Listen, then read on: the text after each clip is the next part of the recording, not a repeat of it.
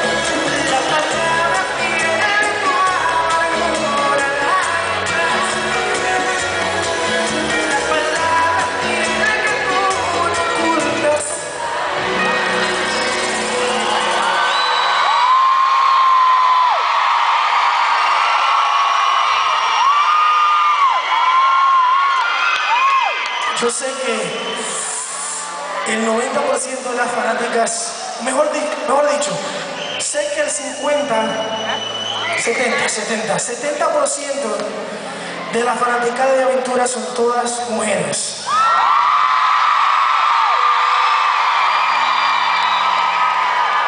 Pero durante los últimos 4 o 5 años he visto que muchos hombres grupo y han, sido presentes en todos los conciertos. Así que le doy muchas gracias a todos los hombres que han salido a apoyar esta agrupación.